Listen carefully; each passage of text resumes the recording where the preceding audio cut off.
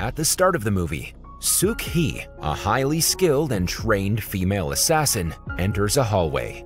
She kills numerous people with her gun and knives. She then enters a room where she kills the boss, Park, and his henchmen using her combat ability. However, as she tries to make her escape and goes outside, she's surrounded by cops. Meanwhile, an agency has been tracking down Park and his men. In the next scene, we see that the agency is monitoring Suk Hee in a CCTV camera as she has just annihilated Park's gang. We learn that they're after a certain hard drive. The gang's chief says that Suk Hee might be of their use, given her exceptional assassination skills. Suk Hee is then shown in a room in an unnamed facility. She opens her eyes but then falls unconscious. She's drugged and is given plastic surgery. While recovering, she has a flashback showing an unnamed man. The man is training her for a breath-holding exercise underwater. When it's time, the trainer warns Suk Hee to come out of the water, but she doesn't respond. Hence, he orders his men to quickly rescue her. Suk Hee isn't breathing anymore, so the trainer thinks she's dead. However, just after a while, she suddenly opens her eyes and starts to breathe again. Turns out she was just teasing her trainer. This shows that Suk Hee is very good at holding her breath. The movie then shifts to the present, where the facility authorities are waiting for Suk Hee to regain consciousness. When she doesn't respond, the authorities decide to discard her. Suk Hee realizes this is the opportunity for her to strike, so she attacks them and escapes the room. When she's surrounded by more people, she holds one of them hostage and threatens to kill him with a knife. Next, she runs down through corridors, jumping from room to room to find the exit door. However, she only stumbles upon a strange group of people. Some are practicing ballads while others are learning cooking. All of these people only tell her that she cannot leave the facility. When attempting to escape, Suk Hee comes across a makeup room where a woman tells her that she knows the way to the exit door. With her help, Suk Hee finally gets outside of the facility, but suddenly she's shot in the shoulder by the same woman. The facility turns out to be part of South Korea's intelligence agency and is run by the same woman. The name is Chief Kwon Suk. When Suk Hee regains consciousness, Kwon Suk tells her that they've given her a new start and have faked her death. Kwon Suk further mentions that they've given her a new identity and name, Che Yuan Su. Suk Hee says she doesn't care and wants to die, but Kwon soon responds that when she and her team examined Suk Hee's body, they discovered she was pregnant. She then offers her a deal. Suk Hee will have to work as an agent for 10 years, and in exchange, she will be released. The latter doesn't want to oblige, but since she has a child on the way, she reluctantly agrees. Next, her training begins, starting with fighting classes as well as acting lessons. While in training, Suk Hee also gives birth to a daughter, whom she names Yun Hye. The facility authorities want to give Suk Hee a completely new identity, so they also have her tattoo removed. During the process, she has flashbacks of the unnamed trainer giving her the shoulder tattoo when she was 20 years old. The trainer asks her who killed her father, but Suk Hee doesn't say anything as she is determined to find the murderer by herself and kill him. Another flashback occurs, and we see Suk Hee as a highly skilled and trained assassin trying to kill an old man with yellow teeth. Suk Hee is captured, and while beating her, the old man tells her he did not kill her father.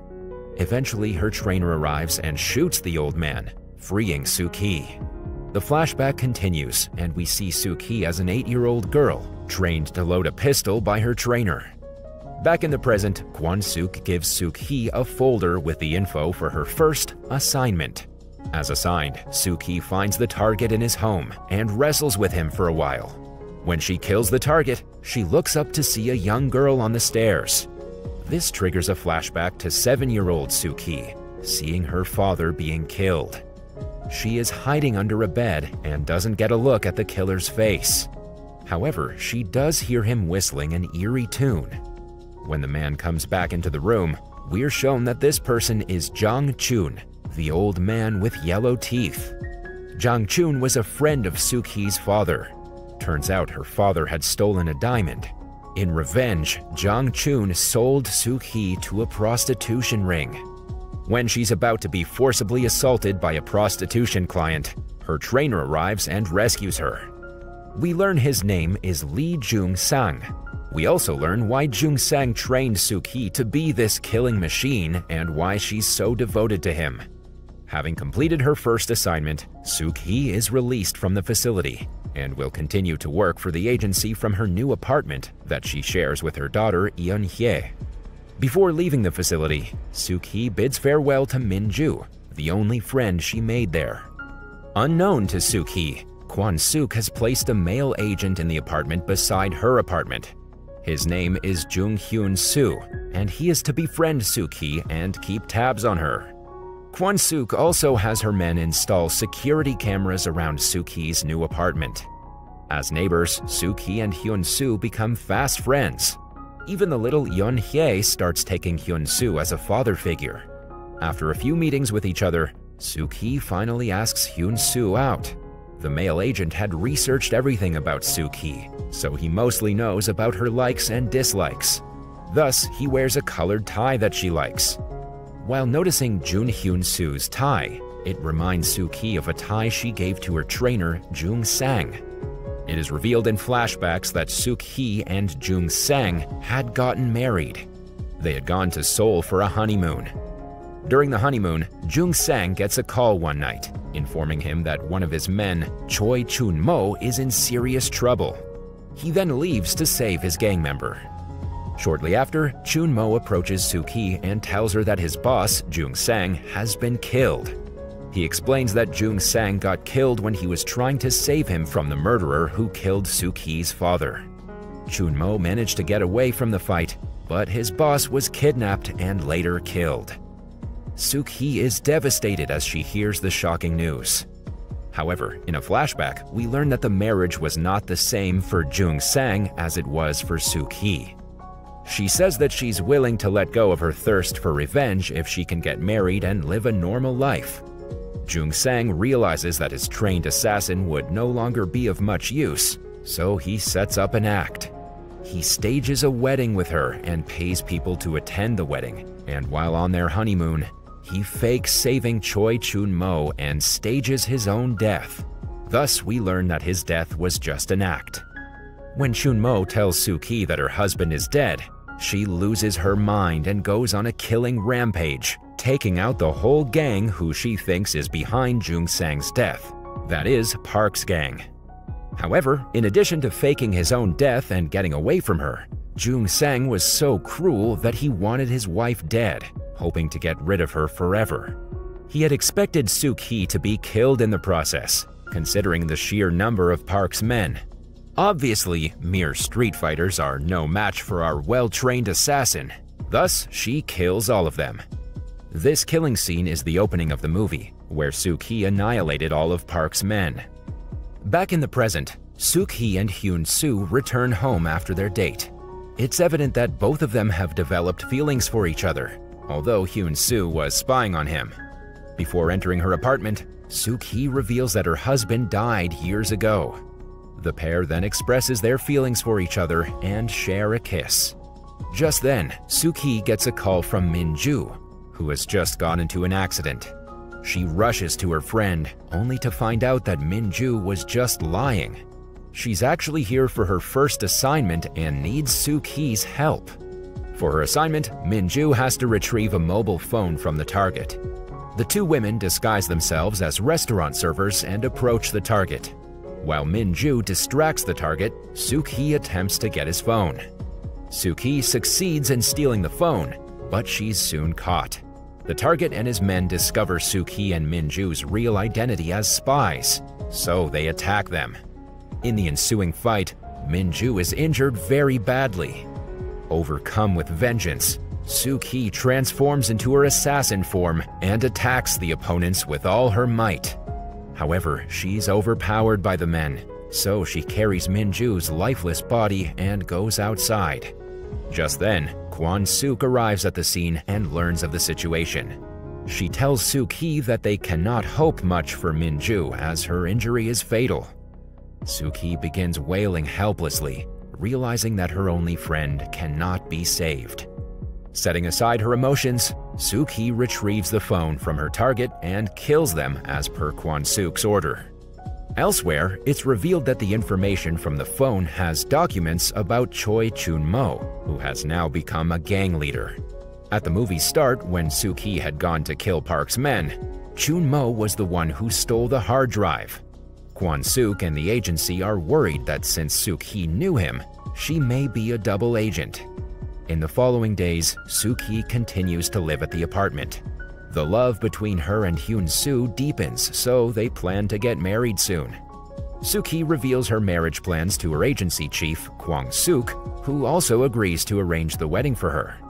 However, Suk-hee has to work for the agency until her daughter is 15 years old.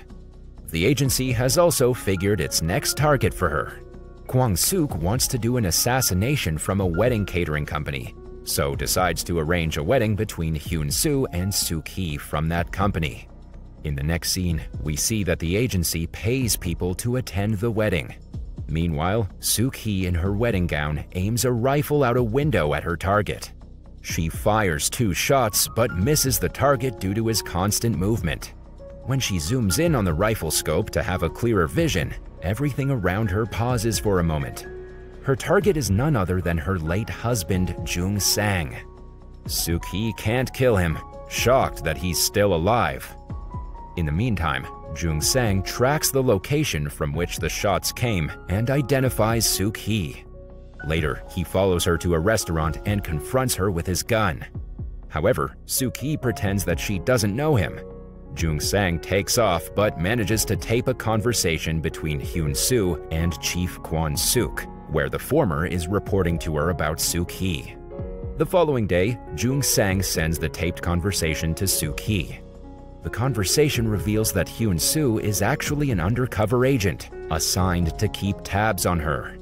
Suk-hee tears up and begins to cry because of the betrayal.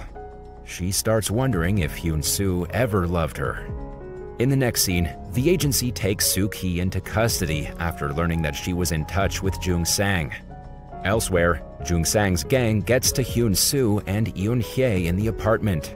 Hyun Soo tries to tell Jung Sang on the phone that Yoon Hye is, in fact, his own daughter, hoping that all the killing will stop.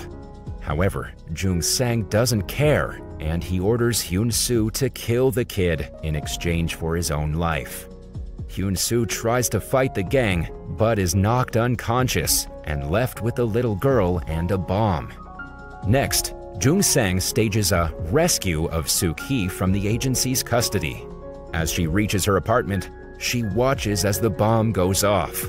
Hyun Soo jumps out of the apartment with Yoon Hye in his arms. Suk Hee helplessly runs towards them, but the jump leaves Hyun Soo severely injured. Holding her daughter in her arms, Suk Hee tries to awaken her, but to no avail. Suk-hee bursts into tears as she watches her family die. As she tearfully asks Hyun Soo who's behind all of this, he tries to catch his last breath and tell her the truth, but sadly, he succumbs to his injuries. Suk-hee thinks it's the work of the agency.